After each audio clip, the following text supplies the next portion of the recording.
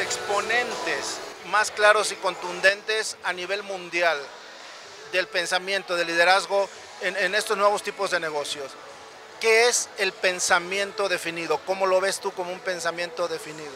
Hola, Gabriel Jiménez. Antes que todo, muy buenas tardes. Me da un gusto poder saludar a tu audiencia. Es un placer para mí que me estés eh, tomando un tiempo para entrevistarme.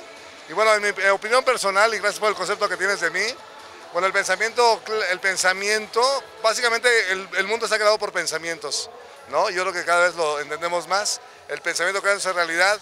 Y yo creo que aquí lo interesante es entender que lo que pensamos es lo que estamos creando. ¿no? Entonces, ¿qué es el pensamiento? El pensamiento es la realidad. El pensamiento es causa, el, la realidad o el mundo que vivimos es consecuencia. Entonces, si nosotros queremos cambiar nuestra vida, tenemos que cambiar nuestra manera de pensar.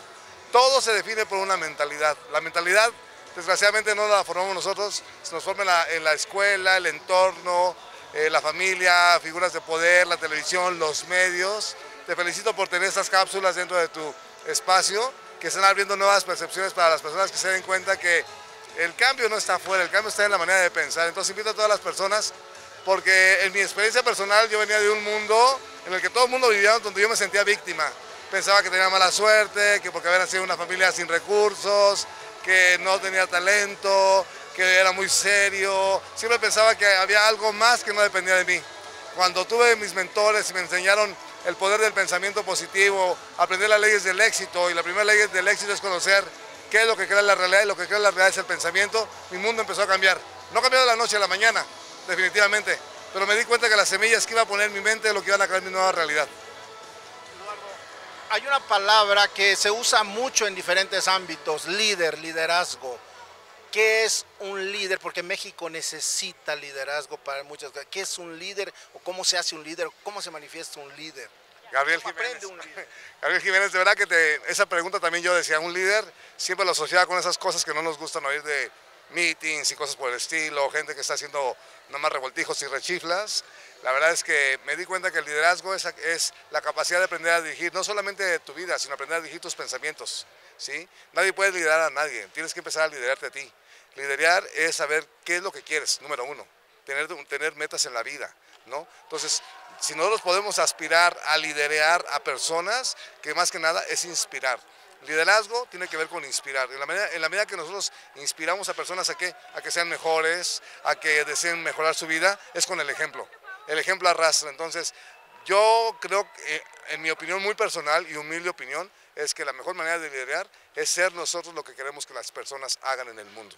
Si yo quiero ser una persona próspera, me tengo que convertir en una persona próspera. Si yo quiero que las personas eh, sean mejores personas y ser el cambio y tener un México en el que yo creo, ¿no? México es un gran país, tenemos el capital humano, todo el mundo, es muy curioso que vienen miles, muchos extranjeros se dicen, no entiendo cómo México tiene problemas económicos y lo que más les sobran son recursos eh, naturales y el potencial que tenemos como seres humanos es inmenso. Entonces, el liderazgo bien entendido en esta nueva era de la conciencia es el liderazgo consciente, el liderazgo con alma, donde cada ser humano somos líderes en nuestra casa, como hijo, como padre, como alumno, como este, hermano, y que con nuestra actitud al 100, ¿no?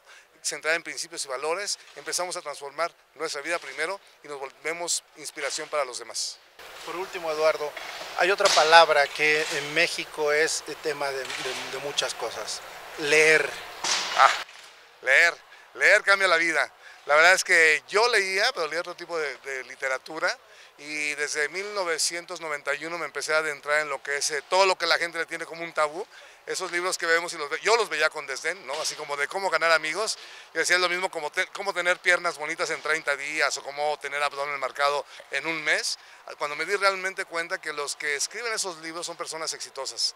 Hay un autor que se llama Raymond Samsoy y dice que eh, eh, hay muchísimo dinero en las librerías. Entonces, si yo quiero obtener riqueza de cualquier tipo de dinero, este, lo que tengo que hacer es leer libros. Todos leemos, leemos la publicidad, leemos el anuncio, leemos los subtítulos en las películas, pero no tenemos ese, ese hábito de leer.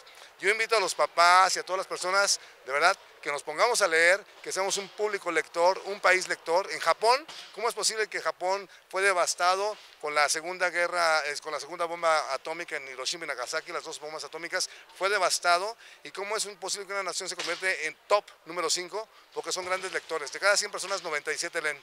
En México ese porcentaje está muy lejos, pero lo podemos cambiar. Yo invito a las personas que lean, empecemos a leer 10 minutos, 5 minutos, apaguen la tela, prendan sus sueños y abran un libro.